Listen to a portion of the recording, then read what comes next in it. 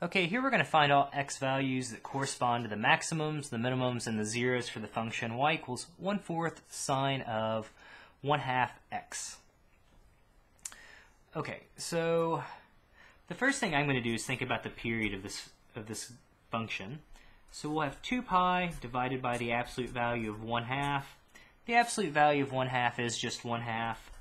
So that's the same thing as 2 pi multiplied by 2, which is 4 pi. So that's going to be the period. The, uh, the amplitude uh, really doesn't matter for these. So I'm going to kind of use a graph here to think about them. So I'm going to think about my increments. 4 pi, I take the period, divide it by 4. That'll give me pi. So my increments are going to be in terms of pi. So 1 pi, 2 pi, 3 pi, 4 pi. And again, this is just a very rough sketch to help me um, to help me identify these. So let's see, uh, if we were to graph this, if we substituted in x equals 0, sine of 0 is 0, so we would be at 0. Let's make this positive 1 fourth. Uh, down here, that'll be negative 1 fourth. Again, definitely not to scale. So at pi, it'll peak out. At 2 pi, it's back at 0. Um, at 3 pi, it'll bottom out. It'll be at negative 1 fourth. And then at 4 pi, it'll be at 0. So to get the maximums, the maximums are going to occur at the x-coordinate of pi. But then what we can do is, every time we, we complete one full period, right, so here's 5 pi, once we complete one full period, we're going to be back at the maximum. So pi is going to be one of the first places we get a maximum.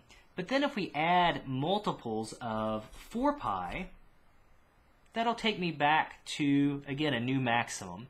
So the way we write that is we take pi plus 4 pi times n. And again, n is going to be an integer. And again, remember integers are just positive or negative whole numbers along with 0. So that's going to be where the maximums occur.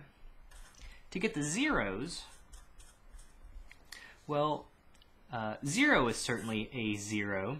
And notice here we don't have to go a complete period. We only have to go half of that. Because every time we go half, we're going to be back at 0.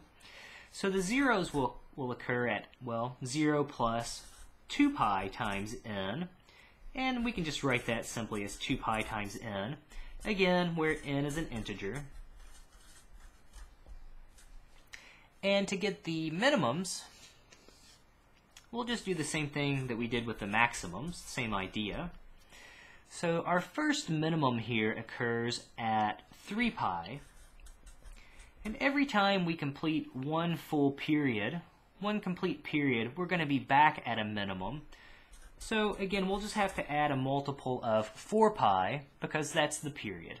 So the minimums occur at, at the x-coordinates 3 pi plus 4 pi times n, again where n is an integer.